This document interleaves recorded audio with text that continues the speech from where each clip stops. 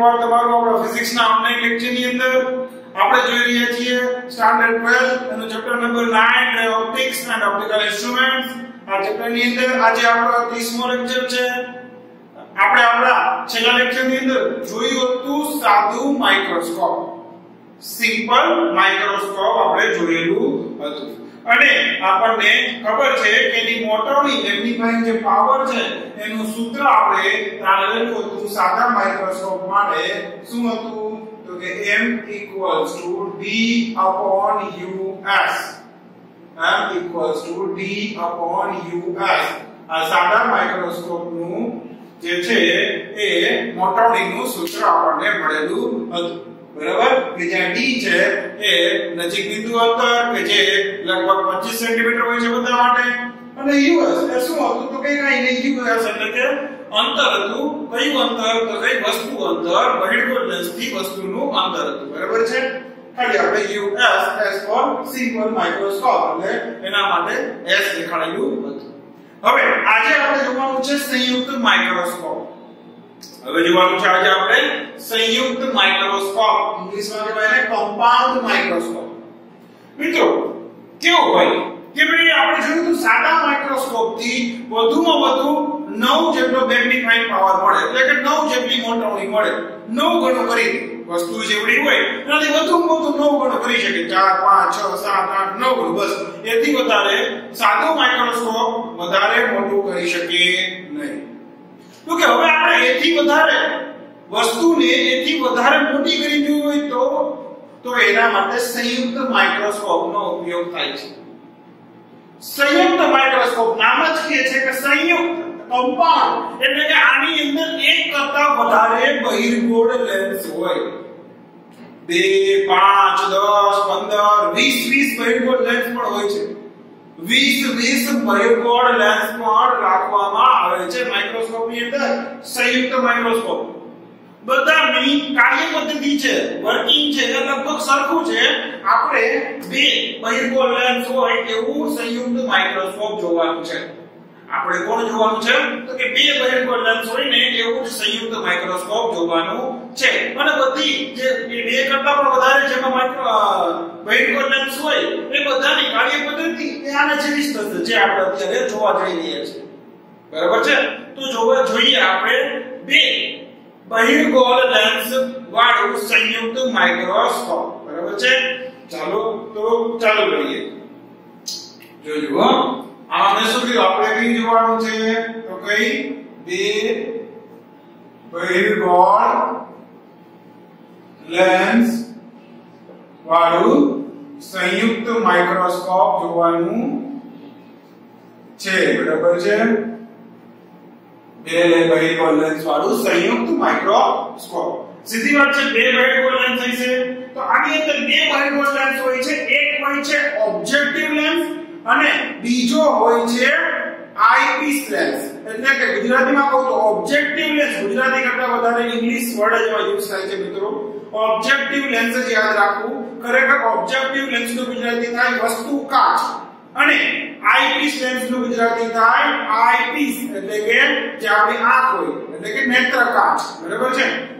એ જેવું ના તેવું જેનું કામ છે. ઓબ્જેક્ટિવ પીસ એટલે કે જે ઓબ્જેક્ટ એટલે કે વસ્તુની જે નજીક હોય એને કહેવાય ઓબ્જેક્ટિવ પીસ આઈ પીસ એટલે કે જે આઈ ની આંખની નજીક હોય. હે? જે આંખની નજીક હોય, બે લેન્સ હશે. એક આપણી આંખની નજીક હશે અને બીજું વસ્તુની નજીક હશે. બરાબર? તો જે વસ્તુની નજીક હોય, એને કહેવાય ઓબ્જેક્ટિવ લેન્સ જે આંખની નજીક હોય, એને કહેવાય આઈપીસ લેન્સ એટલે કે નેત્ર કાચ બરાબર છે? તો જોઈએ. શું હોય છે? ચાલો, આપણે પહેલા એની કિરણ આકૃતિ દોરીએ અને સમજીએ કઈ રીતે જે છે એ આ કામ કરે છે. ચાલો, આ છે આપણું સૌથી પહેલા આ શું છે? તો કે આ છે આપણો ઓબ્જેક્ટિવ લેન્સ આ શું છે? ઓબ્જેક્ટિવ લેન્સ ધ્યાન રાખજો. શું છે આ? ઓબ્જેક્ટિવ લેન્સ બરાબર છે? કાંઈ વાંધો નહીં. ચાલો, આગળ વધીએ. અહીંયા છે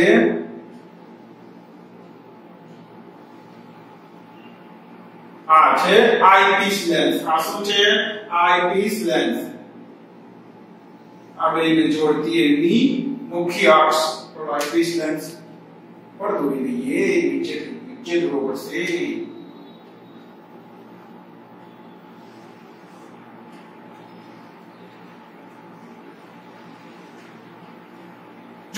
જેમ મેં આકૃતિ દોરી છે એમ એ કહી દઉં તમને, મિત્રો, કે આ જે ઓબ્જેક્ટિવ લેન્સ છે, આ છે ઓબ્જેક્ટિવ લેન્સ અને આ છે આઈપીસ લેન્સ ધ્યાન રાખજો, મિત્રો ઓબ્જેક્ટિવ લેન્સ છે, એ જો નાનો, નાના, કેવો છે? એનું જો એપર્ચર છે નાનકડું છે, હે? દર્પણ છે નાનકડું છે. નાના દર્પણનું વાળો હશે નાની કેન્દ્ર લંબાઈ વાળો હશે આની કેન્દ્ર લંબાઈ કેવી હશે? ઓછી હશે. જ્યારે આઈપીસ લેન્સ છે, ધ્યાન રાખો દર્પણનું પણ મોટું હશે અને કેન્દ્ર લંબાઈ પણ વધારે હશે. ખાસ ધ્યાન રાખજો, આ કેવો હશે? નાના દર્પણ મુખ વાળો? નાના દર્પણ મુખ વાળો? અને નાની કેન્દ્ર લંબાઈ. નાનું દર્પણ મુખ અને નાની કેન્દ્ર લંબાઈ. ત્યારે આના માટે શું હશે? મોટું દર્પણ મુખ અને મોટી કેન્દ્ર લંબાઈ. આની કેન્દ્ર લંબાઈ પણ કેવી હશે? મોટી હશે. બરાબર છે? તો આ નાના દર્પણ મુખ હશે, નાની કેન્દ્ર લંબાઈ હશે, આ મોટા દર્પણ મુખ છે. કેન્દ્ર લંબાઈ કેવી હશે, મોટી હશે. બરાબર છે? નાની એટલે લગભગ 1 સેન્ટીમીટર 2 સેન્ટીમીટર એટલી માની કેન્દ્ર લંબાઈ વાળો અહીંયા બહિર્ગોળ લેન્સ છે, એ ઉપયોગમાં લેવામાં આવે છે. આ તો મોટી એટલે જેવડું આપણે મેગ્નિફાયર પાવર જોતો એના પ્રમાણે આ મોટી લેવામાં આવે છે. 20 સેન્ટીમીટર 25 સેન્ટીમીટર એથી પણ મોટા મોટા ઘણા બધા જે આઈપીએસ લેન્સ છે એ હોય છે. જ્યારે આની તો 1 સેન્ટીમીટર 2 સેન્ટીમીટર, તો 3 સેન્ટીમીટર બસ. એથી વધારે મોટા આઈપીએસ ઓબ્જેક્ટિવ લેન્સ છે હોતા નથી. આટલા જ નાની કેન્દ્ર નંબર વાળા છે એ જનરલી રાખવામાં આવે છે. ઠીક છે મિત્રો? તો ધ્યાન રાખજો, આ નાનો દર્પણ મુખ વાળો છે, નાની કેન્દ્ર લંબાઈ છે, આ મોટા દર્પણ મુખ વાળો છે, મોટી કેન્દ્ર લંબાઈ છે. બરાબર છે? ચાલો, કાંઈ વાંધો નહીં. હવે આગળ વધીએ. હોય કેવી રીતે. તો કે કેમ કામ કરે? તો કે અહીંયા એક વસ્તુ કંઈક આપવામાં આવેલી હોય. માની લો કે આ છે એ વસ્તુ છે. આમ છે વસ્તુ. હાલો કીધું ને ઓબ્જેક્ટિવ નજીક પાસે વસ્તુ હોય, તો એની નજીક પાસે વસ્તુ રાખવામાં આવી છે. હવે કેવું થશે? તો કે આ વસ્તુમાંથી આવતા કિરણો, માની લો કે સીધું કિરણ લઈએ. તો આપણને ખબર છે કે આનું મુખ્ય કેન્દ્ર હોય બરાબર? એનું જે મુખ્ય કેન્દ્ર હોય માની લો કે એમાંથી આ છે પસાર થાય. અને એક આવી રીતે લઈએ ઓપ્ટિકલ સેન્ટરમાંથી પસાર થતા. તો આ રીતે અહીં આપણને એક એનું પ્રતિબિંબ મળે બરાબર? તો આ થઈ ગયું અહીંયા એનું પ્રતિબિંબ હવે આ બે લેન્સની ગોઠવણી મિત્રો એવી રીતે કરવામાં આવેલી હોય કે જેથી કરીને આ જે પ્રતિબિંબ, આ ઓબ્જેક્ટિવ લેન્સ દ્વારા જે પ્રતિબિંબ રચાયું છે મિત્રો, એ પ્રતિબિંબ આ આઈપીસ લેન્સના ખાસ સમજો આ પ્રતિબિંબ ક્યાં આવશે, તો કે એવી ગોઠવણી આ વચ્ચે કરેલી હોય છે એટલે આ બે વચ્ચેનું અંતર એવી રીતે રાખવામાં આવે છે કે જેથી કરીને આ મળતું પ્રતિબિંબ એ આઈપીસ લેન્સના મુખ્ય કેન્દ્ર અને ઓપ્ટિકલ સેન્ટર એની વચ્ચે આવે. એક અને O ની વચ્ચે આવે એ રીતે ગોઠવણી કરવામાં આવે છે. ખાસ સાંભળજો શું કીધું? કે આ ને એવી રીતે ગોઠવણી કરવામાં આવે છે કે બેની વચ્ચેનું જે અંતર છે આ એવી રીતે રાખવામાં આવે છે કે જેથી કરીને આ જે પ્રતિબિંબ રચાણું કોને લઈ જવા પ્રતિબિંબ તો ઓબ્જેક્ટિવ લેન્સ આ પ્રતિબિંબ એ આના માટે વસ્તુ તરીકે કામ કરવાનું છે તો એ એવી રીતે પ્રતિબિંબ રચાણો છે કે જેથી કરીને આ પ્રતિબિંબ એ આઈપીસ લેન્સના ઓપ્ટિકલ સેન્ટર ઓ અને એનું જે મુખ્ય કેન્દ્ર હોય માની લો કે અહીંયા જે એનું મુખ્ય કેન્દ્ર છે F આ આઈપીસ માટે છે ને F E કહીએ F E E for eyepiece તો આ બેની વચ્ચે જ આ પ્રતિબિંબ રચાય એ રીતે બંનેની ગોઠવણી કરવામાં આવે છે અહીંયા શું હતું અહીંયા નહીં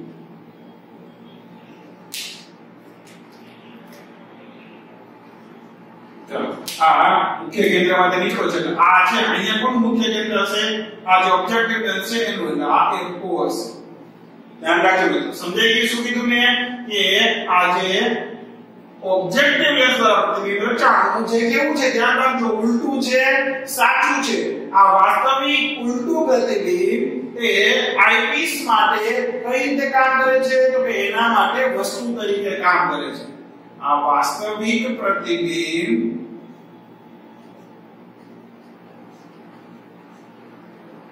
એ આઈપીસ માટે કઈ રીતે તો કે આભાસી વસ્તુ તરીકે વર્તશે આભાસી વસ્તુ તરીકે વર્તશે બરાબર છે કાંઈ વાંધો નહીં તો એટલે એવી રીતે ગોઠવણી કરવામાં આવી છે મિત્રો કે જેથી કરીને આ જે પ્રતિબિંબ રચાય એ આઈપીસ ના મુખ્ય કેન્દ્ર FE અને ઓપ્ટિકલ સેન્ટર O ની વચ્ચે જ રચાય અરે આ હવે માની લો કે આ આ આઈપીસ માટે આવડી આ જે પ્રતિબિંબ રચાયું એ વસ્તુ તરીકે કામ કરતું હોય તો જોજો હવે આ તો બહુ અગત્યની વસ્તુ થઈ ગઈ તો હવે વસ્તુ ક્યાં પડી છે તો કઈ તો કઈ પરિગોલ લેન્સના મુખ્ય કેન્દ્ર અને ઓની વચ્ચે અરે આ તો કયું કેસ થઈ ગયો સ્પેશિયલ કેસ સાદા માઇક્રોસ્કોપમાં આપણે જોયું તો એ જ કેસ થઈ ગયો કે નહીં આ તો એક્ઝેક્ટલી એ જ કેસ થઈ ગયો સાદા માઇક્રોસ્કોપમાં આપણે જોયું હતું કે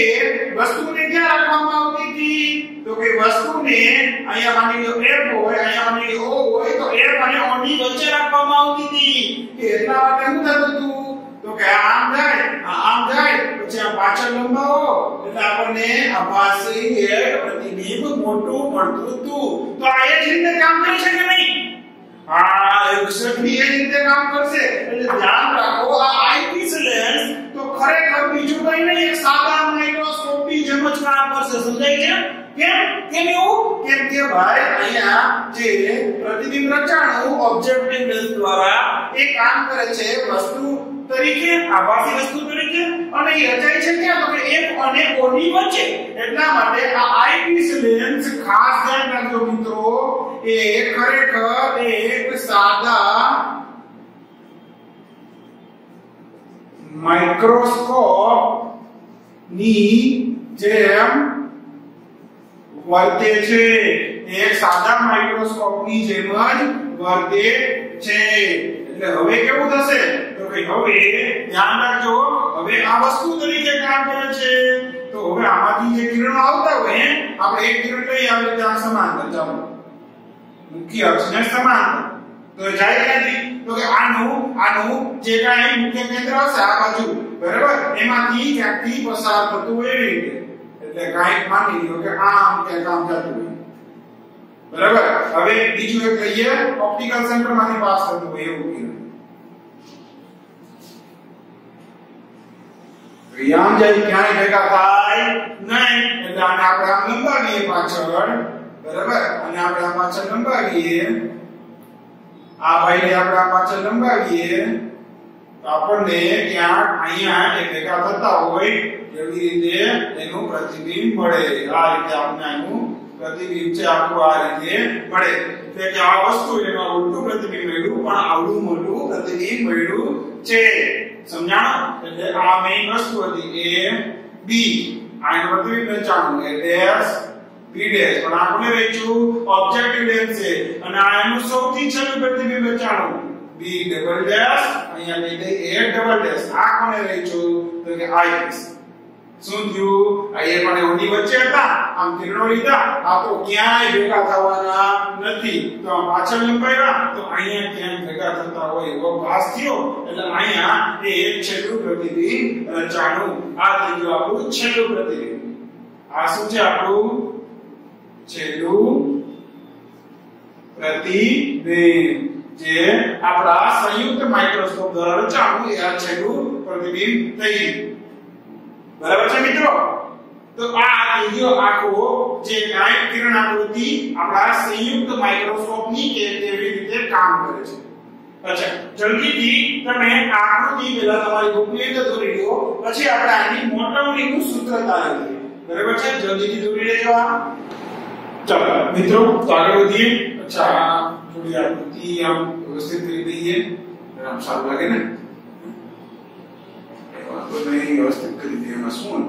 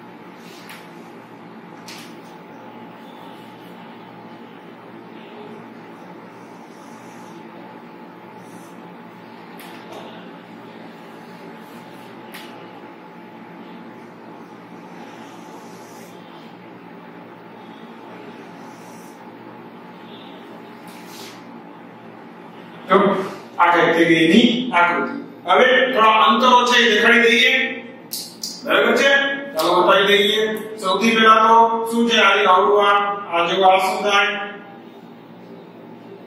વસ્તુ અંદર પણ કોના માટે વસ્તુ અંદર છે ઓબ્જેક્ટિવ લેન્સ માટે એટલે અહીંયા લખું છું U O O for objective O U O અચ્છા આને તો પ્રતિબિંબ ક્યાં મળ્યું આર્યવા તો આ થઈ ગયું આપણું પ્રતિબિંબ અંતર એને કહેવાય VO એટલે પ્રતિબિંબ અંતર V અને ઓબ્જેક્ટિવ માટે છે એટલા માટે VO અચ્છા હવે આ પ્રતિબિંબ આના માટે શું કરે છે તો કે વસ્તુ તરીકે વર્તે છે તો I થી લઈને I સુધીનું આ અંતર થઈ જાય વસ્તુ અંતર પણ કોના માટે આઈપીસ માટે તો UE યાદ રાખજો શું આટલું છે UE કે જે આપણે સાદા માઇક્રોસ્કોપ વખતે આ અંતરને US કીધું તો યાદ આવી ગયું શું હતું US શું હતું તો કઈ સાદા માઇક્રોસ્કોપ તો એક જ લેન્સ હતો તો એ લેન્સ ની વસ્તુ કરતા અંતરે છે એ તો અહીંયા લેન્સ થી કેટલા અંતરે છે તો આપણે શું આપીએ છીએ UE તો અહીંયા સીધું UE લખી શકો કાંઈ ફેર પડે નહીં બરાબર છે અને આ આઈપીસ દ્વારા જે પ્રતિબિંબ રચના ઘટે આપણું આ છેલ્લું પ્રતિબિંબ એ થઈ ગયું એને અંતર આપણે કહી દઈએ આ અંતરને કહી દઈએ આપણે v અને કોના છે તો કે આઈપીસ નું અંતર v e બરાબર છે નામ આપી દીધું આપણે? E. રાઈટ અચ્છા, બીજી એક વસ્તુ હજી, જે પદાર્થ, વસ્તુ છે એનું અને પ્રતિનિધિનું ઊંચાઈ પણ દેખાડી દઈ. માની લ્યો કે આ વસ્તુ છે એની ઊંચાઈ માની લ્યો h4 લઈ h4 એટલે કે ઓબ્જેક્ટ તો h4 આ એમ પ્રતિબિંબ છે તો hi પણ આ તો છેલ્લું પ્રતિબિંબ નથી ને? hi ડેશ કઈ સૌથી છેલ્લું કયું છે? આર્યું આ તો આને કીધું hi બરાબર છે?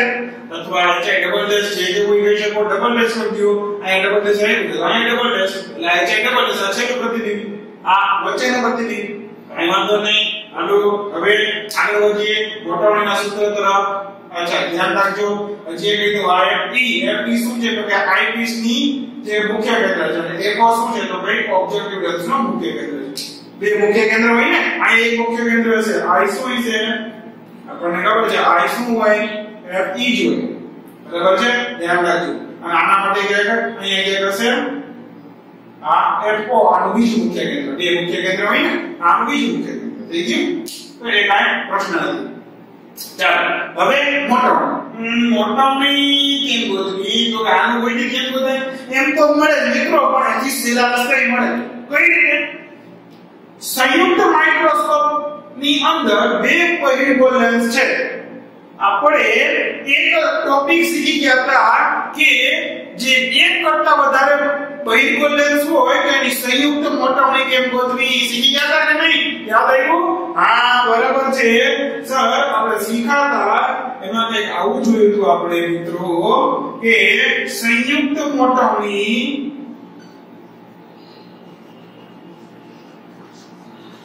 m બરાબર શું થાય તો કે જેટલા લેન્સ હોય એ બધાય લેન્સ ની મોટવણીનો ગુણાકાર કરવાનો બરાબર કે નહીં અહીંયા બે લેન્સ છે એક ઓબ્જેક્ટિવ એક આઈપીસ તો સંયુક્ત મોટવણી થાય m બરાબર mo મોટવણી ઓબ્જેક્ટિવ લેન્સ ની એને ગુણ્યા m e આઈપીસ લેન્સ ની મોટવણી યાદ આવી ગયું યાદ આવ્યું ને મોટવણીનું સૂત્ર બતાવ્યું હતું બરાબર ને લેન્સ નો પાવર અને મોટવણી આવું બધું જોયેલું હતું તો એની ઉપરથી એમ કહી શકીએ કે સંયુક્ત મોટાવણી m બરાબર શું થાય તો કે આ બે લેન્સની મોટાવણીનો ગુણાકાર હવે એના હવે એમાં આ ઈ પેલા આઈપીસ ની વાત કરું ઈ તો અહીંયા લખ્યું છે કોની તરીકે વર્તે છે સાદા માઇક્રોસ્કોપ ની જેમ વર્તે છે સાદા માઇક્રોસ્કોપ ની મોટવણી આપણે તૈયારીથી આપણા છેલ્લા લેક્ચરમાં આર આર એમ બરાબર ડી ના છેદમાં યુએસ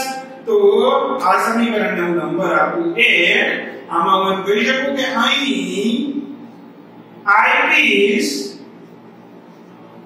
તો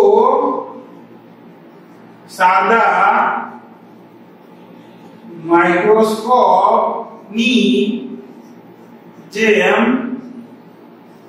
વર્તે છે આથી આથી therefore શું કહી શકીએ me બરાબર તો શું થાય મોટાનું સૂત્ર શું હતું d નજીક બિંદુ અંતર d જે 25 સેન્ટીમીટર હોય લગભગ બધા માટે એના છેદમાં us એ શું હતું ત્યાં શું હતું તો કે સિમ્પલ માઇક્રોસ્કોપ માટે વસ્તુ અંતર અહીંયા ઈ અંતર કેટલું છે આના માટે ru ue એટલે એના છેદમાં ue તો આ તો આપણને બહુ જ સરળતાથી મળી ગયું.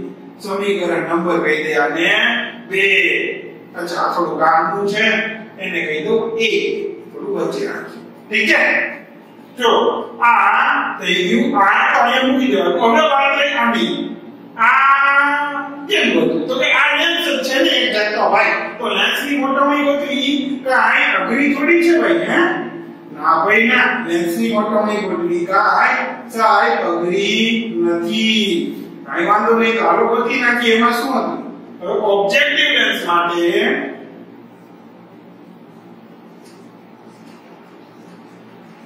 ઓબ્જેક્ટિવ લેન્સ માટે મોટવણી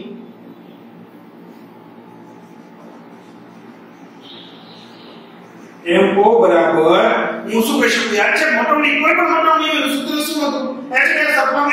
બરાબર નહીં? હા? પ્રતિબિંબની ઊંચાઈ એના છેદમાં વસ્તુની ઊંચાઈ. અચ્છા, આના માટે પ્રતિબિંબ કયું તો હું dash hi dash hi dash upon એના છેદમાં.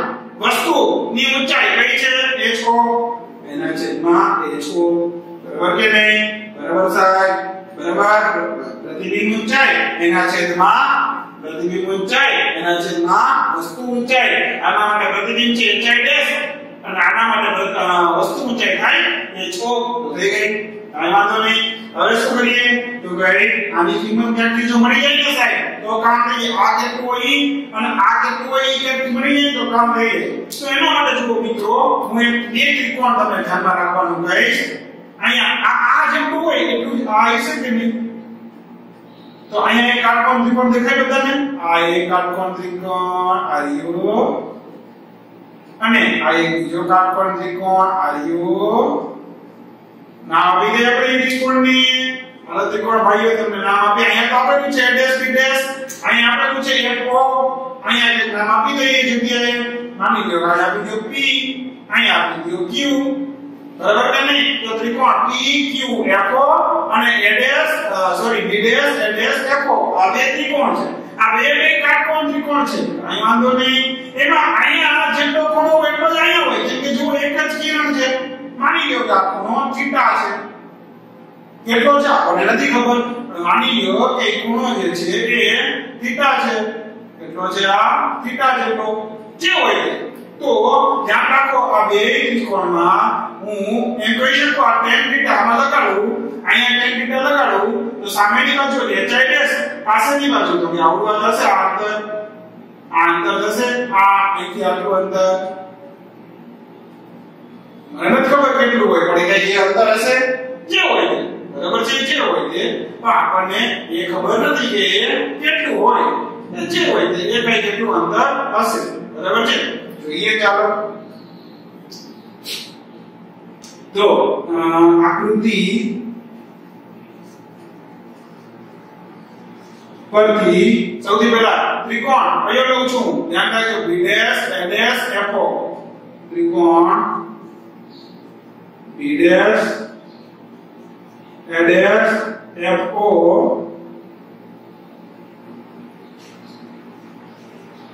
માટે tan થીટા બરાબર tan થીટા બરાબર સામેની બાજુ hi ડેશ એના છેદમાં એના છેદમાં શું થઈ જાય તો કઈ એના છેદમાં આટલું અંતર a ડેશ fo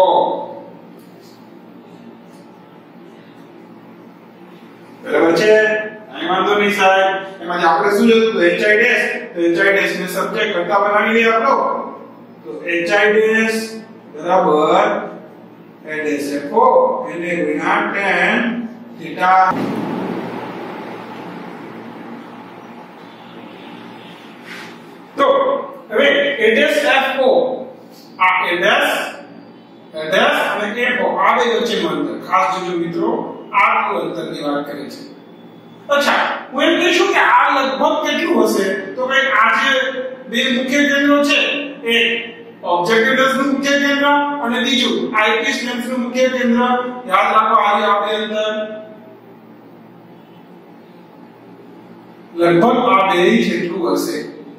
જો ધ્યાન રાખો મિત્રો આ જે બે મુખ્ય કેન્દ્રો છે એ બે વચ્ચેના અંતરને કહેવાય ટ્યુબ લંબાઈ માઇક્રોસ્કોપની ટ્યુબ લંબાઈ કહેવાય શું કહેવાય ને માઇક્રોસ્કોપની ટ્યુબ લંબાઈ ખાસ ધ્યાન રાખજો અહીં લખું છું ઓબ્જેક્ટિવ લેન્સ ઓબ્જેક્ટિવ લેન્સના મુખ્ય કેન્દ્ર એકો અને આઈપીસ લેન્સના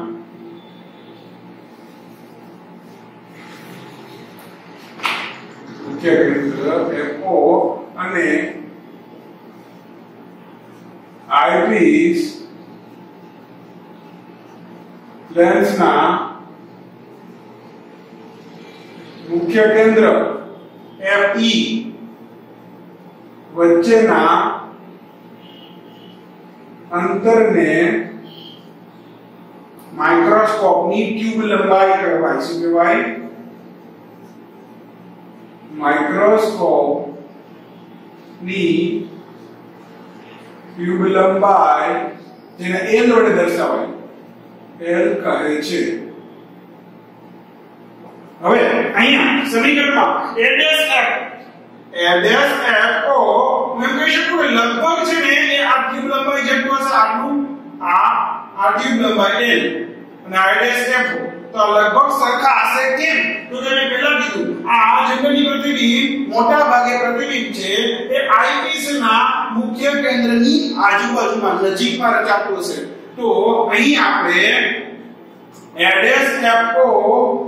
એના લગભગ બરાબર લખી શકીએ શું તો કે એફઓ એફઈ એ વચ્ચેનું અંતર જે છે ઈ એફઓ એફઈ કે જેના બરાબર તો શું થાય એલ અહીંયા હું એલ લખી શકું તો એચ આઈ ડેશ બરાબર એલ tan થીટા આ થઈ ગયું એક સમીકરણ નંબર આપીએ એને 2 બરાબર છે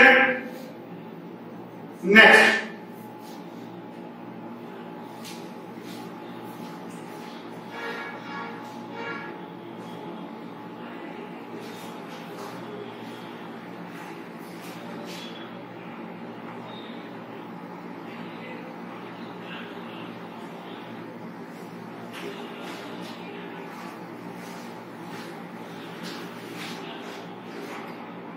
નેક્સ્ટ આ ત્રિકોણ P Q અને FO એની વાત કરીએ ત્રિકોણ P Q FO ત્રિકોણ P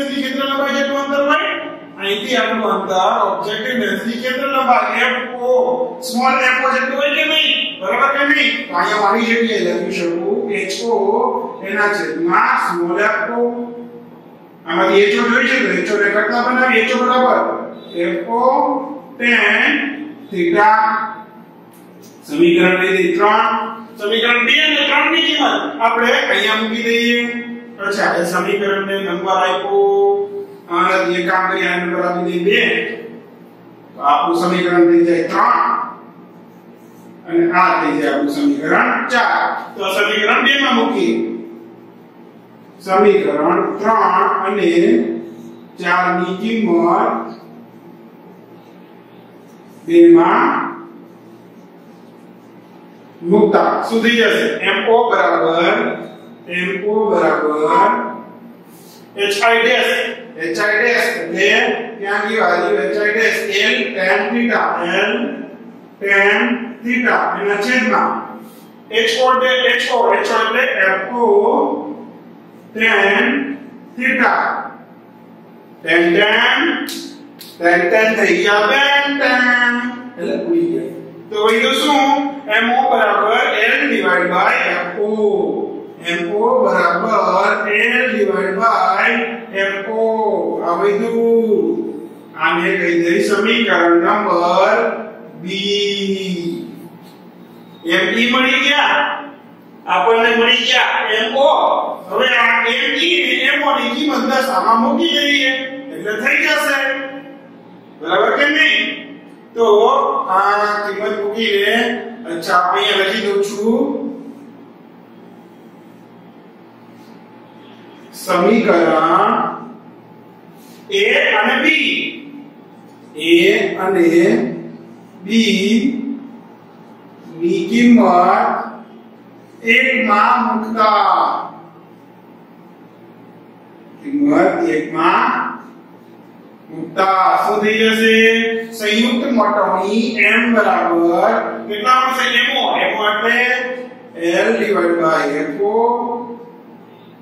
એને ગુણ્યા me d divide by ue d divide by ue તો આ થઈ ગઈ સંયુક્ત માઇક્રોસ્કોપની મોટોની બરાબર કે નહીં મિત્રો અચ્છા ધ્યાન રાખજો અહીંયા આપણને યાદ છે કે સર આ જ્યારે સાદું માઇક્રોસ્કોપ જોયું ત્યારે આપણે બે કેસ જોયા હતા. એક હતું ડી અંતર પ્રતિબિંબ અને બીજું હતું અનંત અંતરે પ્રતિબિંબ. તો આમાં પણ એવું બંને શક્ય બનશે.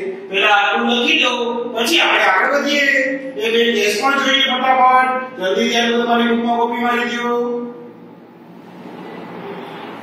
ચાલો તો આમાં પણ સંયુક્ત માઇક્રોસ્કોપની અંદર જે કેસ બને છે એ જોઈએ કેસ નંબર 1 પહેલો કેસ ક્યાં છે તો કે પ્રતિબિંબ ક્યાં હોય પ્રતિબિંબ ડી અંતરે રચાય ત્યારે ડી અંતરે એટલે કે નજીક બિંદુ અંતર પ્રતિબિંબ આ જે પ્રતિબિંબ છે એ નજીક બિંદુ અંતર એટલે કે 25 સેન્ટીમીટર હોય આપણી આંખ આંખથી એટલે કે આઈપીસ ગણો કે આંખ ગણો કે આંખ અહીં નજીક જ હોવાની આપણે જે અહીંથી જોતા હોવાના છીએ બરાબર છે આ વ્યક્તિ કોઈ પણ હોય અહીંથી જોતો હોય હે એ ગંદા આંખ ની આંખ છે ચાંદ છે હા તો અહીંથી જોતો હોય ને કોઈ પણ વ્યક્તિ હોય એ જોતો ક્યાંથી હશે અહીંથી જશે તો અહીંથી જો કે અહીંથી જો 25 સેન્ટીમીટર નજીક લેવાનું પ્રતિબિંબ કેટલું હોય તો પ્રતિબિંબ ડી અંતર એટલે કે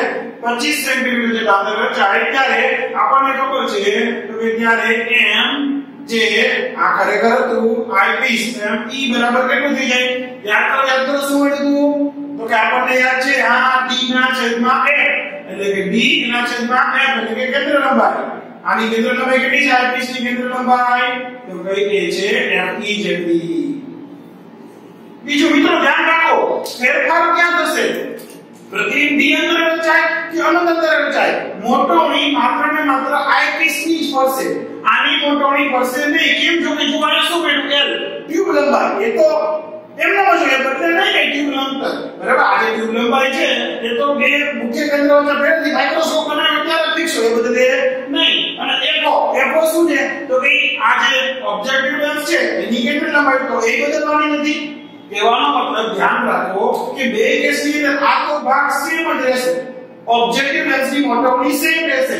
તો કે બદલે છે કોની મોટાવણી આઈપીસ મોટાવણી શું કામ બને કેમ કે આઈપીસ સાદા માઇક્રોસ્કોપની જેમ કામ કરે છે. અને સાદા માઇક્રોસ્કોપમાં આપણને બે અલગ અલગ કેસ મળ્યા હતા. ડી અંતર પ્રતિબિંબ અને અનંત અંદર.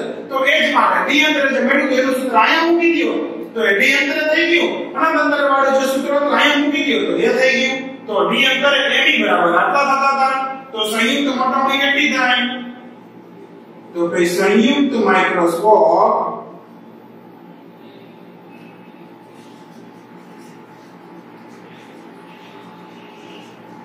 ની મોટવણી m બરાબર આ તો એમનો રહેશે l ડિવાઇડ બાય fo એને ગુણ્યા હવે આ કરી નાખો d ડિવાઇડ બાય fe બરાબર ને તો આ ક્યારે જ્યારે d અંતરે હોય ત્યારે અચ્છા આ લઈ ગયો આપણું c આ થઈ ગયું આપણું d અચ્છા બીજો બીજો કેસ શું હતો કેસ નંબર 2 પ્રતિબિંબ ક્યાં હોય પ્રતિબિંબ અનંત અંતરે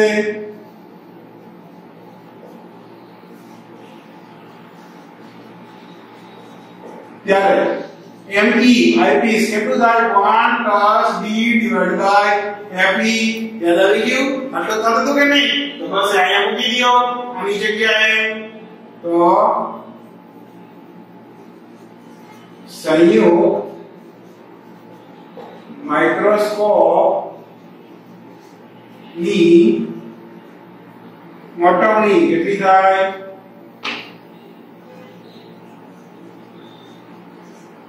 m બરાબર એટલું થાય l બાય f એમ ના અહીંયા શું આવે 1 d ડિવાઇડ બાય fe આ થઈ ગયો આપણું સમીકરણ નંબર આપી દે અને e અચ્છા તો આ થઈ ગયો મિત્રો બે કેસ હજી એક વસ્તુ કહી દો મિત્રો ઘણી વખત આપણે આ n ડિવાઇડ બાય f ની જગ્યાએ vo ડિવાઇડ બાય u0 પણ વાપરેલું તમને દેખાશે vo ડિવાઇડ બાય u કેમ તો કે હતું શું ખાસ ધ્યાન રાખજો l ડિવાઇડ બાય f એ હતું શું l ડિવાઇડ બાય f એ શું હતું અચ્છા કયા સમીકરણની અંદર વાત કરી કોઈ પણ સમીકરણ સમીકરણ c d કે e સમીકરણ c d કે પછી e માં l ડિવાઇડ બાય f શું છે તો કઈ ઓબ્જેક્ટિવ લેન્સની મોટવણી એ શું છે તો કઈ mo mo એટલે કે ઓબ્જેક્ટિવ લેન્સની મોટવણી કે જેના બરાબર તો આપણે કોઈ પણ મોટવણી હોય લેન્સ હોય lens any મોટવણી v by u યાદ છે થાય કે નહીં v divide by u v divide by u લખી શકીએ કે નહીં અચ્છા આ ઓબ્જેક્ટિવ લેન્સ ની છે તો ઓબ્જેક્ટિવ લેન્સ માટે v એટલે કે પ્રતિબિંબ અંતર એટલે કીધું છે આપણે vo અને u એટલે વસ્તુ અંતર એટલે કીધું છે uo અહીંયા હું લખી શકું કે એના બરાબર હું શું લખી શકું એના બરાબર vo ના છેદમાં uo આવું લખી શકું કે નહીં સમજાણું vo ના છેદમાં uo આવું પણ લખી શકું ધ્યાન રાખજો તો ત્યાં l ના છેદમાં a ની જગ્યાએ vo ડિવાઇડ બાય uo પણ તમે લખી શકશો બરાબર છે તો આ એક ધ્યાનમાં રાખજો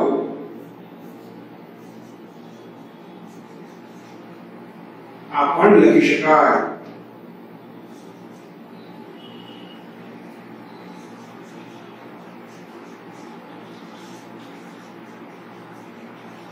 આપણને આ ઉદાહરણો દાખલાઓ ગણવામાં બહુ જ કામ લાગશે તો મિત્રો આ થઈ ગયું આપણું સંયુક્ત માઇક્રોસ્કોપ જલ્દીથી આ કેસ પણ તમારી બુકની અંદર લખી દો